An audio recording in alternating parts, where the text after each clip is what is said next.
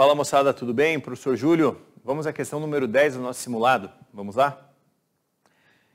Então, ele pede para você o seguinte, né? Ele fala que um artesão brasileiro é um agente da produção nas áreas cultural e econômica do país. Ele faz uma pergunta para você, né? Ele vai distribuindo essa informação e embaixo ele coloca uma tabela para você, né?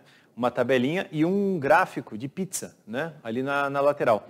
Perceba que o, no gráfico de pizza você tem 23% corresponde ao sexo masculino e 77% ao sexo feminino.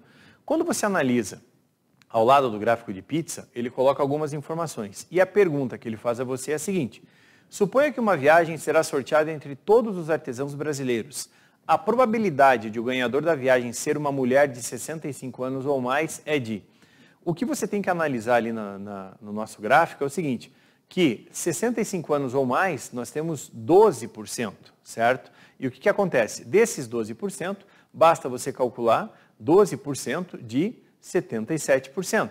Então fica aí o quê? 12%, 0,12, vezes 0,77, vai te dar 0,0924. Perceba que ele quer isso em forma de percentual, certo? Passando a vírgula duas casinhas à direita, ficamos com 9,24%. Alternativa correta, letra D.